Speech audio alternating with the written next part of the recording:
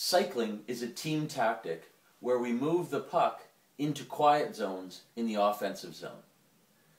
The most obvious use of this is when forward one is coming up the boards and doesn't have a play or doesn't want to risk throwing the puck into the middle of the ice, and his defender at the blue line is being covered by this forward from the other team. So instead of risking a pass into the middle, you put it down the boards back into this quiet zone, which we defined earlier.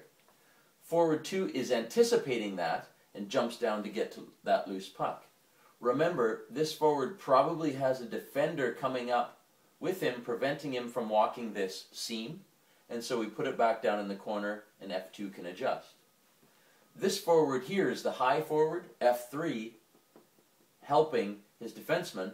Notice now this player F1 is high enough so F3 can jump down and F1 moves in. So that's cycling and the reason it